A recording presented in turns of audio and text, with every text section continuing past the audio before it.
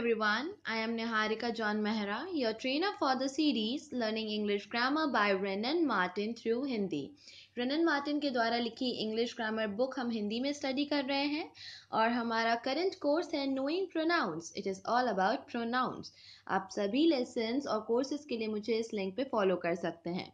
So today our worksheet is about mark the pronouns reflexive and emphatic हमने reflexive और emphatic pronoun सीखे थे तो ये एक्सरसाइज उसी से रिलेटेड है for more we will go in the lesson and check out कि क्या है इस लेसन uh, में हमारे लिए before going ahead something about me I'm a mass communication graduate, English trainer at an academy, freelance personality development trainer, and English trainer at EOP. Also, kindly read, review, and recommend this lesson as well as this course. Now coming to the exercise इस exercise में कुछ sentences हैं हमारे पास आपके लिए। इन sentences में रिफ्लेक्सिव और एम्फेटिक प्रोनाउंस का यूज़ करा है हमने। आपको सेंटेंस रीड करना है, बताना है कि फ़र्स्ट ऑफ़ ऑल प्रोनाउन कौन सा वर्ड है और वो रिफ्लेक्सिव प्रोनाउन है या फिर वो एम्फेटिक प्रोनाउन है। So let's start with the questions first five sentences इस प्रकार से हैं। I will go myself Rama has hurt himself We often deceive ourselves. I myself heard the remark. You express yourself very imperfectly. The next sentences are I wash myself when I get up. The boys hid themselves. They have got themselves into a mess. Then Boadicea poisoned herself. They loved themselves so much that they thought of no one else. और आखिरी के पाँच sentence इस प्रकार से हैं। The purse the prisoner hanged himself the poor widow poisoned herself they enjoyed themselves don't you deceive yourself I myself heard the remark ये है हमारे 15 सेंटेंसेस जिनमें आपको पहचानना है प्रोनाउन कि रिफ्लेक्सिव है या एम्फेटिक क्विकली स्टार्ट आप अगेन बैक जाकर आ, सभी वाक्यों को नोट डाउन कर सकते हैं या फिर डायरेक्टली मार्क कर सकते हैं कि कौन सा वाले सेंटेंस में क्या प्रोनाउन है और वो रिफ्लेक्सिव है या एम्फेटिक है।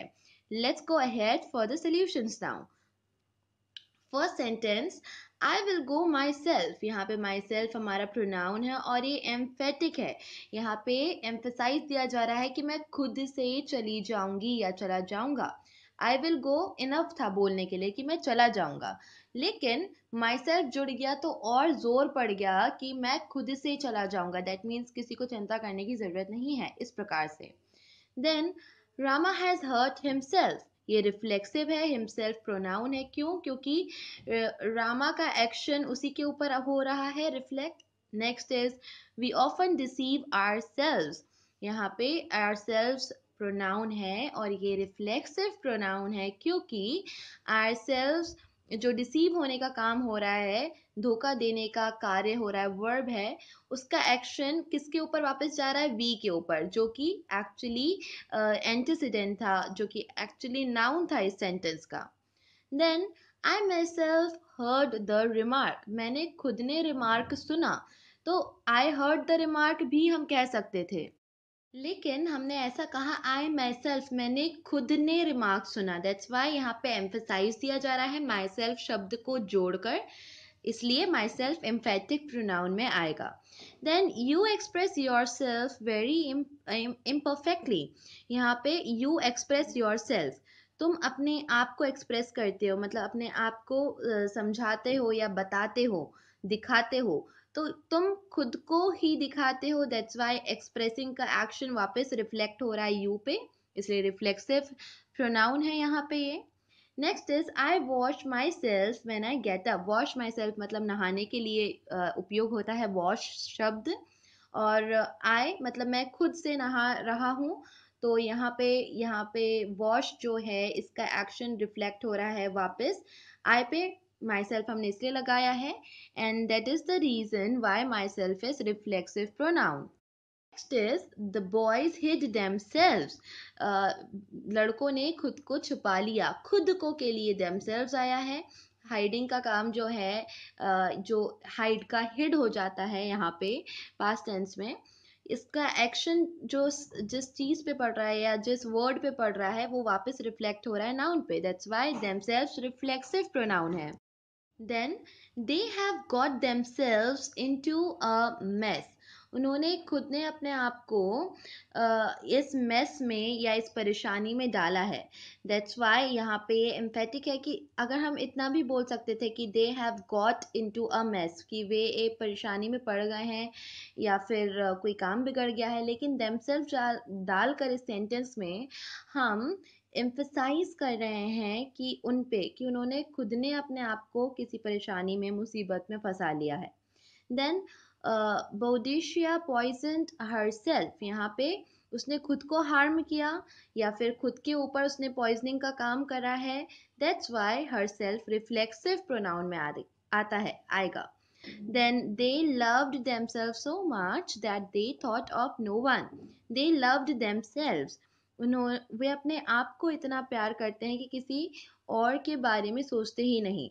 तो यहाँ पे एक एक्शन है, उस एक्शन जिस चीज़ पे हो रहा है, वो सेम चीज़ है जो कि हमारा सब्जेक्ट है। दैट्स वाई रिफ्लेक्सिव प्रोनाउन होगा ये।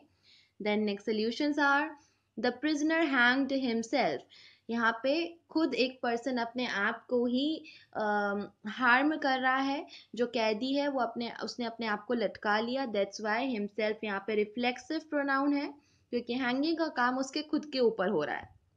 Next is the poor widow poison herself वो विडो जो है, जो विधवा है, गरीब विधवा है, वो अपने आप को नुकसान पहुँचा रही है। उसके एक्शन जो है, उसका जो वर्ब है पॉइजन जहर देने का काम खुद के ऊपर ही किया जा रहा है। That's why herself is reflexive noun उसके बाद दे एन्जॉयड दैमसेल्व्स इन्जॉइंग का काम जो कर रहे हैं, उन्हीं के लिए हमने दैमसेल्व्स शब्द का उपयोग करा है।